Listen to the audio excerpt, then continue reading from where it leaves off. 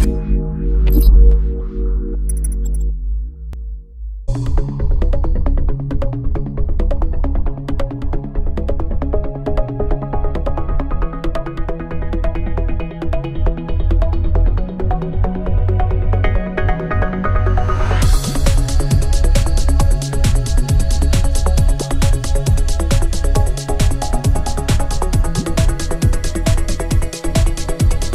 Fábulas é uma das séries de maior sucesso do selo Vértigo da DC Comics.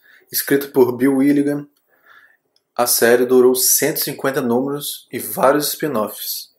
Fábulas vai contar a história do entrelaço entre dois mundos, o nosso mundo real e o mundo das fábulas. As fábulas acabaram sendo expulsas do mundo delas e vieram parar no nosso mundo.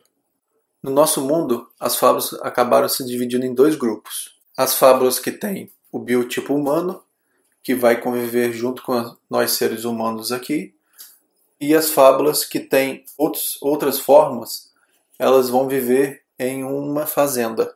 E o suspense para você conhecer quem é, quem será esse vilão. Por fim, eu indico que todos conheçam Fábulas. Muitos consideram a maior série da Vertigo após Sandman. Eu acho uma série legal, eu acho que vale muito a pena vocês conhecerem e lerem. Valeu, pessoal, até a próxima.